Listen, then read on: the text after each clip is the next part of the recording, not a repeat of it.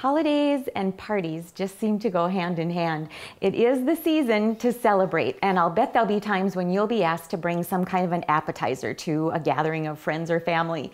And, you know, I like to use just my favorite cheese balls, all my favorite spreads, use them during the holiday, holiday time, but just fancy them up a little bit. And one way I do that is rather than shaping them into a ball, like a big cheese ball, I make some little pastries and then I put a little dab of the cheese ball onto each pastry. The pastries are so beautiful and they're so easy to make because you start with a sheet of puff pastry that you buy in the freezer case at the grocery store.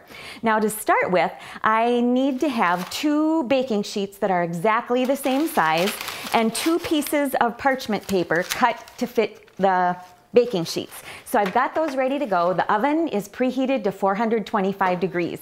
And now I'm just going to roll my pastry just a little bit so that I hide the little fold marks because this dough was folded into thirds in the box. And this is just half of the box. You actually get two pieces of pastry dough in each box. One of these sheets will make 35 little pastry crisps. So I've got a one and a half inch round cookie cutter and I'm just going to cut rounds and I'll get probably what I said 35 out of this puff pastry. Now typically when you bake puff pastry it does what it's called. It puffs, and so you can actually see the layers after it's baked. Now, what I like to do is bake them so that they look a little bit more like crackers, crispy, but they still have those flaky layers. They're just compressed a little bit.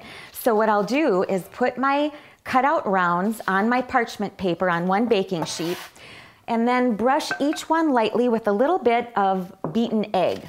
Then, after I've filled my baking sheet, I'll put that other piece of parchment paper right over my rounds, put the other baking sheet right on top of it, and that will weigh it down while it's baking in the oven.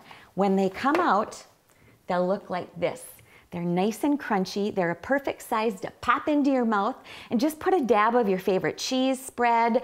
You know that cranberry sauce I made last week on the segment? I mixed that with an eight ounce chunk of cream cheese and I piped it on to these little crisps. It's beautiful with a little pistachio nut stuck into the top. Festive looking and beautiful and so easy. No sweat, no stress for the holidays.